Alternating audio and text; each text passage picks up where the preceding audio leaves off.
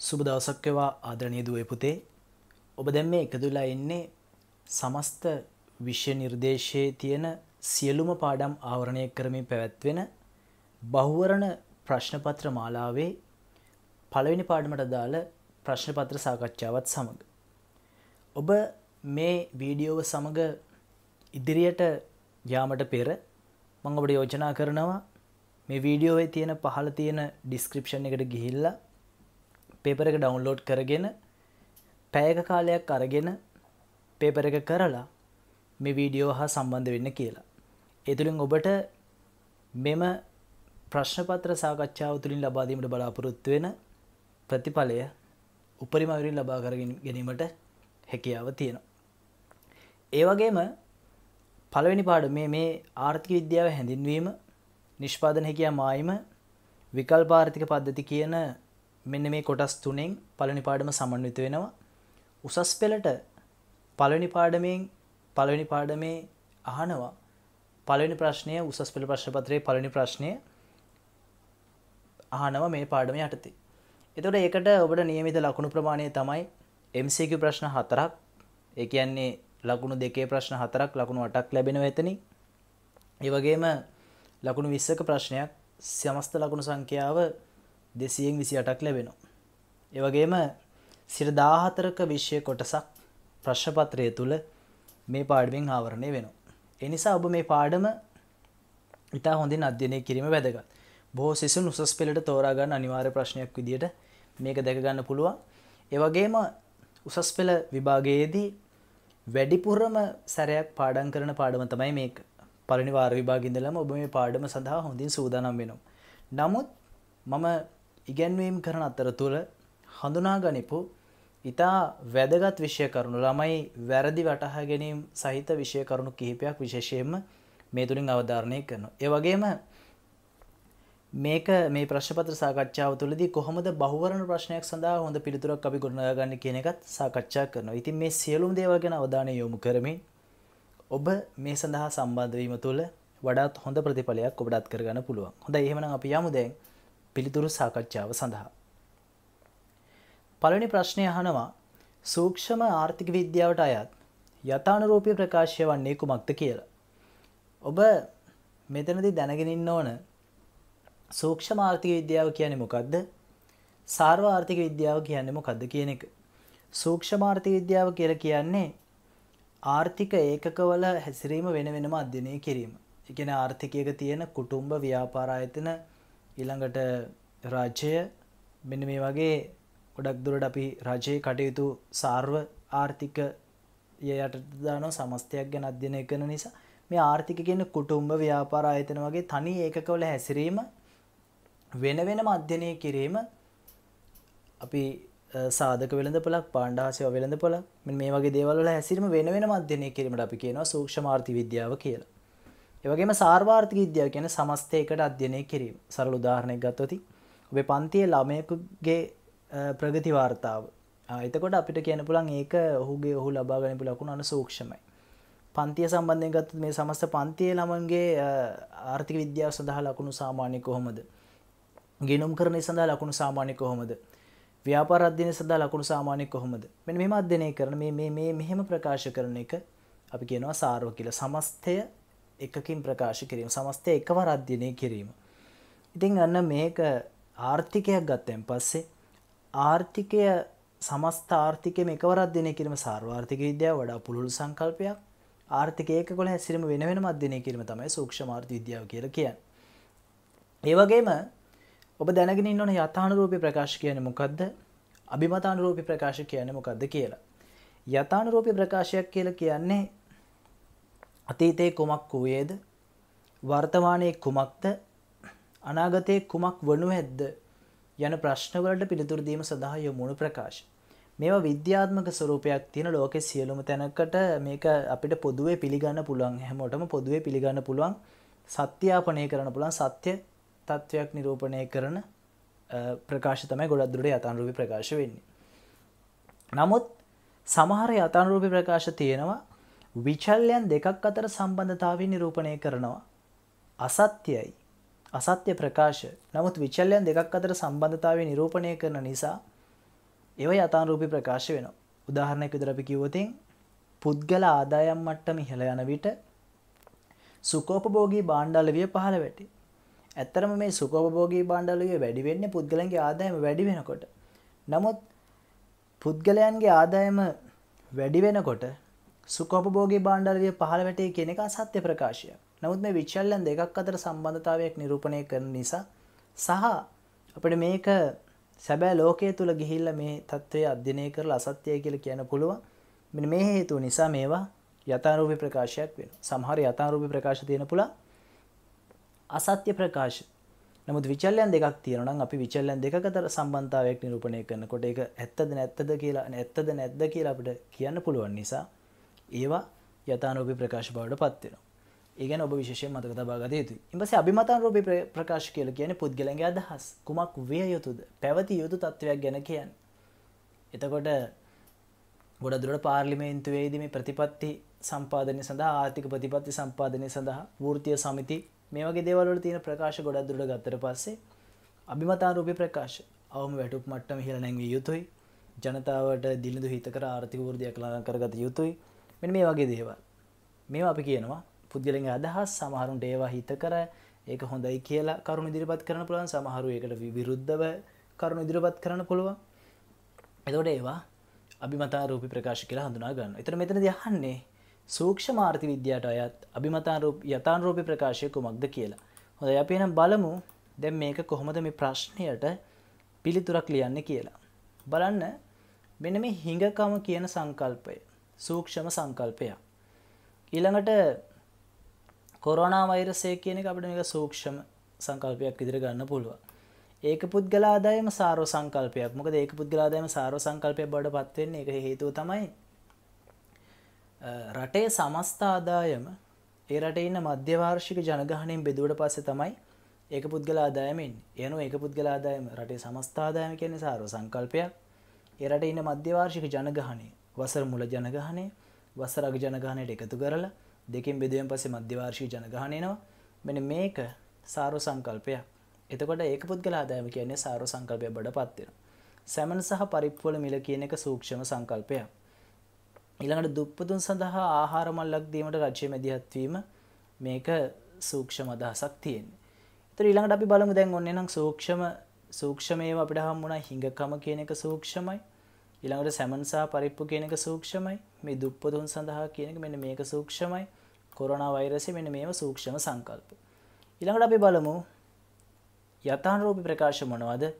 අභිමතාන්රූපී ප්‍රකාශ මොනවද කියලා. යථාරූපී ප්‍රකාශ මොනවද? අභිමතාන්රූපී ප්‍රකාශ මොනවද? හිඟකමක් තියෙනකොට සෑම සමාජයක්ම තේරීම් කළ යුතුය. මෙන්න මෙතන විශේෂයෙන්ම වැදගත්කමකින් මෙතක තබා ගත යුතු කරුණක් තියෙනවා. ඒ තමයි ගොඩක්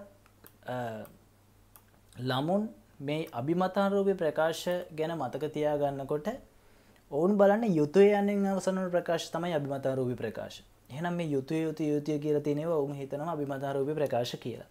මම මේක බොහෝ දුරට දැකලා තියෙන පන්තියේදී ප්‍රශ්න කරනකොට ඒක වැරදි අදහසක් යුතයන්ෙන් අවසන් වන සෑම් ප්‍රකාශයක්ම අභිමතාරූපී ප්‍රකාශ නෙවෙයි අභිමතාරූපී ප්‍රකාශයක් ඉදිරිපත් කරන්න පුළන් ආකාර කිහිපයක් තියෙන සත්‍යයි අසත්‍යයි හිත කරයි අහිත කරයි යෝග්‍යයි අයෝග්‍යයි සාධාරණය අසාධාරණයි යුතුය නොවී යුතුය මෙනි මේ ආකාරය විධාකාරයෙන් මේ අභිමතාරූපි ප්‍රකාශයක් ඉදිරිපත් කරන්න පුළුව තිය ඔබ යුතුයන්නින් අවසනට ප්‍රකාශ අභිමතාරූපි ප්‍රකාශ කියල මතක තබා ගන්න එක එක නිවැරදි විශ්ය කරුණු මතක තබා ගැනීමක් නොවේ.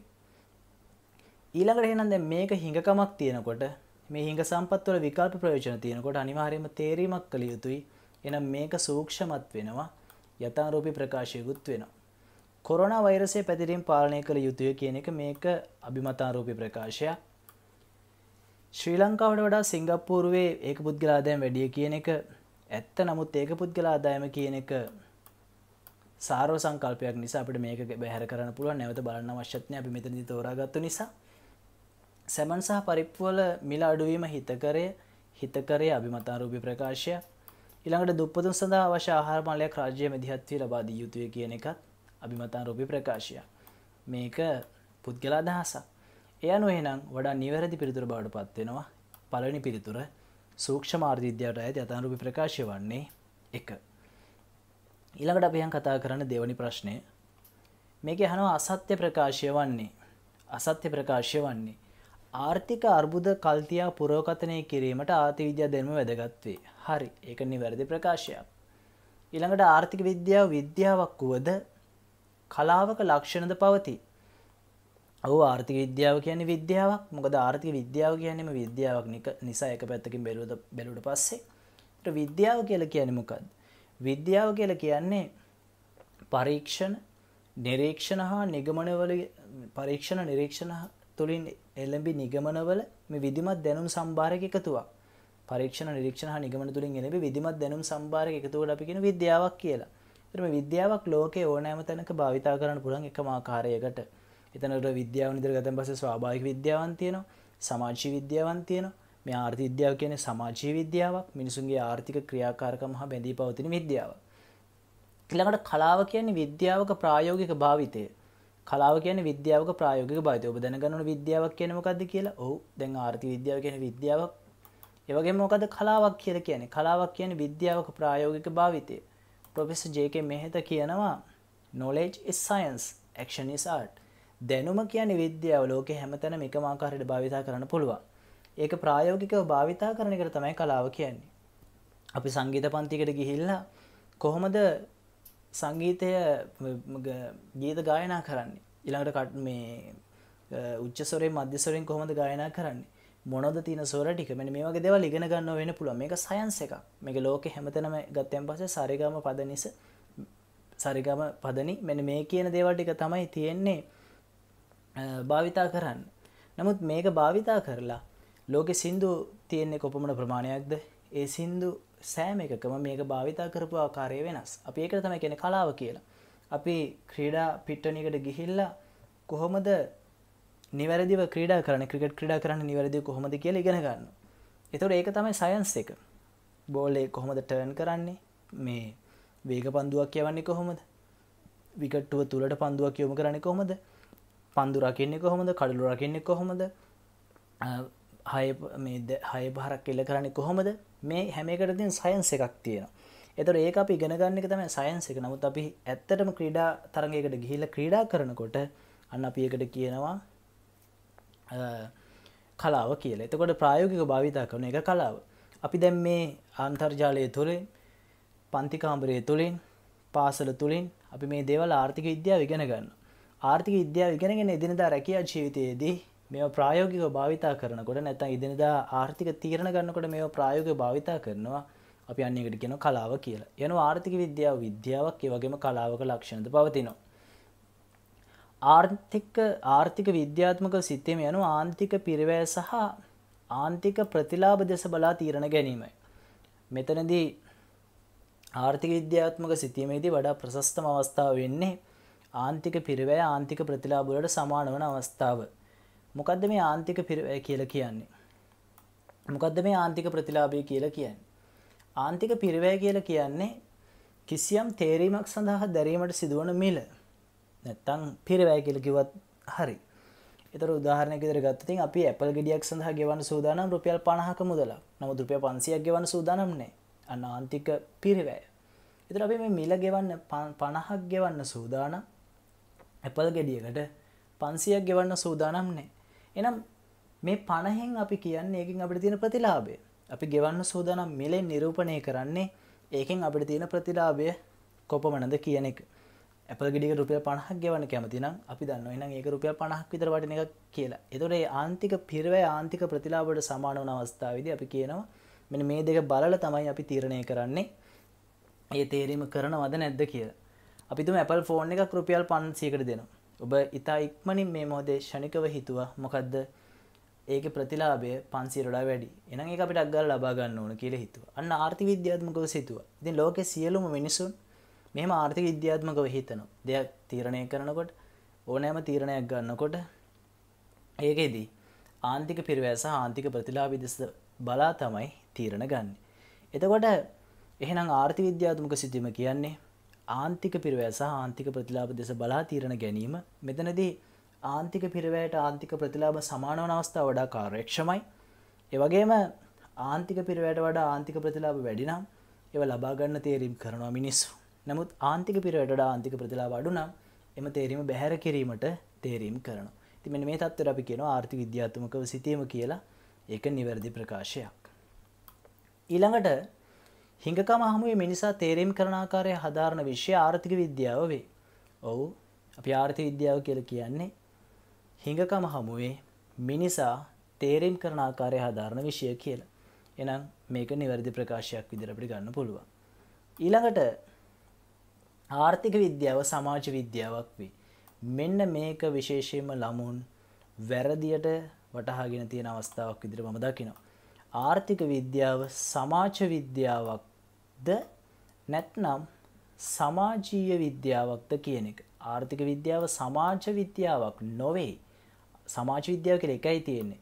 ආර්ථික විද්‍යාව කියන්නේ සමාජීය විද්‍යාවක්. මොකද්ද මේ සමාජීය විද්‍යාවක් කියලා කියන්නේ? සමාජීය විද්‍යාව කියන්නේ සමාජය හා බැඳී පවතින විද්‍යාවන්. එදිනදා මිනිසුන්ගේ ක්‍රියාකාරකම් හා බැඳී පවතින විද්‍යාවන් තමයි සමාජ විද්‍යාවක් කියලා කියන්නේ. එතකොට මිනිසුන්ගේ ආර්ථික හැසිරීම අධ්‍යයනය කරන විෂයට ආර්ථික විද්‍යාව කියලා කියනවා. දේශපාලන හැසිරීම අධ්‍යයනය කරන විෂයට කියනවා දේශපාලන විද්‍යාව කියලා. ඊළඟට මානව හැසිරීම අධ්‍යයනය කරන විෂයට කියනවා මානව විද්‍යාව කියලා. මානසික හැසිරීම අධ්‍යයනය කරන විෂයට කියනවා මානසික මනෝවිද්‍යාව කියලා. එතන මේ ඔක්කොම විද්‍යාවන් ටික අපි එක ගොඩකට දාන්න පුළුවන් සමාජීය විද්‍යාවන් කියලා. දේශපාලන විද්‍යාව, ඊළඟට ආර්ථික විද්‍යාව, ඊළඟට සමාජ විද්‍යාව, ඊළඟට මානව විද්‍යාව, ඊළඟට මනෝවිද්‍යාව මේ ඔක්කොම එක ගොඩකට දාන්න පුළුවන් මේ තමයි සමාජීය විද්‍යාවන්. සමාජී විද්‍යාවන්. ඉතින් මේ තුල තියෙන එකක් තමයි මේ සමාජ විද්‍යාව කියලා කියන්නේ. සමාජ විද්‍යාව කියන්නේ මේක තුල තියෙන එකක්. ඒ අනුව ආර්ථික විද්‍යාව කියන සමාජ විද්‍යාව නොවේ සමාජීය විද්‍යාවක් කියන එක නිවැරදිව දැනගෙන සිටින්න ඕනේ. එහෙනම් මේ ප්‍රකාශය අපිට කියන්න පුළුවන් වැරදි ප්‍රකාශයක් කියලා. ඒ අනුව පස්වෙනි ප්‍රශ්නය සඳහා පිළිතුර අහන්නේ අසත්‍ය ප්‍රකාශය කුමක්ද කියලා. අසත්‍ය ප්‍රකාශය තමයි පහ අපිට ගන්න පුළුවන් පහ කියලා. ඊළඟට අපි කතා කරන්න තුන්වන ප්‍රශ්නය ආර්ථික විද්‍යා සංකල්ප සඳහා අදාළ වන ප්‍රකාශ කිහිපයක් පහත දැක්වේ. හරි මෙන්න මෙහෙම ප්‍රකාශ ටිකක් තියෙනවා. මේවා අයත් සංකල්ප වනුයේ පිළිවෙලින්.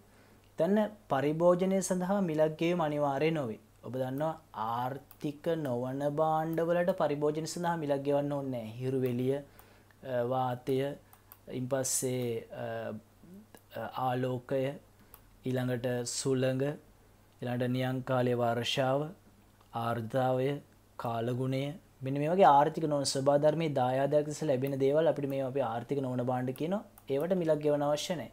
ඒ වගේම සමහර ආර්ථික භාණ්ඩ තියෙන පරිභෝජනයට මිලක් ගෙවන්න අවශ්‍ය නැහැ. ඒ තමයි නොමිලේ ලද පාසල් පොත්, ලොතරැයි ත්‍යාගකින් ලද මෝටර රථය. මෙන්න මේ වගේ දේවල්. මේවා ආර්ථික නමුත් පරිභෝජනය සඳහා මිලක් ගෙවීම අනිවාර්ය නොවන අවස්ථා තියෙනවා. ඒ අනුව පරිභෝජනය සඳහා මිලක් ගෙවීම අනිවාර්ය නොවේ කියන එකට ආර්ථික බාණ්ඩ කියන එක ගන්න පුළුවන්. ඒ වගේම ආර්ථික නොවන බාණ්ඩ කියනත් ගන්න පුළුවන්. නම් මේවා උත්තර විදියට නිවැරදි මේ අවස්ථාව තුළ. ඒ වගේම ආර්ථික නොවන සම්පතුත් හරි. ඒ ටික හරි. ඊළඟට මේවා ඉවත් කිරීම සඳහා මිලක් ගෙවීමට සූදානම්. ඉවත් කිරීමට මිලක් ගෙවන්න සූදානම් වෙන්නේ නීච භාණ්ඩ වලට. දැන් එහෙනම් අපිට බැහැර කරන්න පුළුවන් ඔබට ප්‍රශ්න පහම තියෙන අවස්ථාවේ 120ක අවස්ථාවක් තිබුණේ මේකේ නිවැරදි පිළිතුරක් තෝරා ගන්න. දැන් තුනක්ම වැරදි කියලා අපිට නිශ්චිතව තීරණය කරන්න පුළුවන් දෙවෙනි එක දන්නවනම් දැන් ඔබට තියෙනවා අවස්ථාව 50ක අවස්ථාවක් සම්භාවිතාවයක් තියෙනවා මේ දෙකෙන් නිවැරදි පිළිතුරක් තෝරා ගන්න. ශූන්‍ය මිලකදී සැපයීම සීමා රහිත සම්පත්. ඒවා ආර්ථික නොවන සම්පත්. අන්න ඉතාම පහසුවෙන් එනම් අපිට උත්තරේ තෝරගන්න පුළුවන් මෙන්න මේක එන්නේ කියලා. ඊළඟට අපි බලමු ඊළඟ දෙකේම සමාන නිසා නිවැරදි නිශ්චිත වශයෙන්ම පිළිතුරු බවටපත් වෙනවා. පස්වෙනි එක නිශ්චිත පිළිතුරු බවටපත් වෙනවා. මෙතන ආර්ථික සම්පත් කියන එක වැරදි එනිසා ඒකත් වැරදි උත්තරය බවට පත් වෙනවා. මෙන්න මෙහෙම අපිට ඊටා ඉක්මනින් බහුවර්ණ ප්‍රශ්න පත්‍ර ප්‍රශ්නය සඳහා පිළිතුරු තෝරා ගැනීමට හැකියාව තියෙනවා. ළමුන් මෙන්න මේ සංකල්පය මෙන්න මේ සංකල්පය හරියට අවබෝධ කරගෙන නැත්නම් උත්තරය තුන ලකුණු කරන්න පුළුවන්. ආර්ථික භාණ්ඩ කියන්නෙම වඩා ළමයි හිතාගෙන ඉන්න දෙයක් තමයි ආර්ථික බාණ්ඩවලට පරිභෝජන මිලක් ගෙවන්න ඕන අවස්තික පිරිවැයක් තියෙන හිංකමක් තියෙන තේරීමක් තියෙන විකල්ප ප්‍රයෝජන තියෙන නිෂ්පාදන ක්‍රියාවලියක් තියෙන මිනිසා මැදිහත් වෙලා තියෙනවා. සම්පත් පිරිවැයක් දරලා තියෙනවා. මිනිසා මිලක් ගෙවීම අනිවාර්යයි කියලා හිතනවා. ඉතින් මිලක් ගෙවීම අනිවාර්ය වෙන්නේ නැහැ. මේ ආර්ථික බාණ්ඩවලට උදාහරණ කිවතින් අර නොමිලද පාසල් පොත් වගේ වයනු නිවැරදි පිළිතුර බාට පත්වෙන තුන්ගෙනක සඳහා පස්වනි පිළිතුර. ඊළඟට අපි කතා කරමු හතරවනි ප්‍රශ්නය. හතරනි ප්‍රශ්නය අහනවා ආර්ථික විද්‍යා සංකල්ප කිහිපයක් සහ එම සංකල්ප සඳහා නිදසුන් කහිපයක් පහත දැක්වේ. මෙතනදී ආර්ථික බාණ්ඩ බලමු. නොමිලද පාසල් පොත් ආර්ථික බාණ්ඩයක් කැලඩ ගොස් අපයා ගන්න අදර ආර්ථික බාණ්ඩයක් අපි ඒවා ලබාගන්න නොමිලේ ලැබුණත් මේ නොමිලද පාසපොත් නොමිලේ ලැබුණත් කවරුන් විසින් හෝ පිරිවයක් දර තියෙනවා. කැලෙඩගොස් සපයා ගන්නා දර ඒක අපි ඒව නොමිලේ ලැබුණත් ස්වභාවික ලැබුණත් අපි හිඟ සම්පත් භාවිතා කළ කැලේට ගිහිල් ඒ කාලිතුළ වෙනත් වැඩක් කරන්න තිබුණ. එක කැප කරල යන්නේ නිසා ආර්ථික බාණ්ඩයක් නොමිලද පාසල්පොත් නැවතත් ආර්ථික. නියංකාලය වර්ෂාව ආර්ථික බාණ්ඩයක් නොවේ. නොමිලද පාසල්පොත් ආර්ථික බාණ්ඩයක් ඉලට ආර්ථික නොවන බාණ්ඩ කැලෙට ගොස් අපයා ගන්නා දරගන්න බෑ. හිරු වෙලිය ආර්ථික නොවන බාණ්ඩයක් නිවැරදි පිළිතුර විදිර මේටික ගන්න පුළුවන්. එහෙනම් දැන් අපි තුනෙන් එකක් තමයි තෝරගන්න තියෙන්නේ. බාණ්ඩයක් තමයි මේ සියලුම දෙවල් බාණ්ඩ එතර මේ හැම එකක්ම බාණ්ඩයකට උදාහරණ ඉදිර ගන්න පුළුවන්.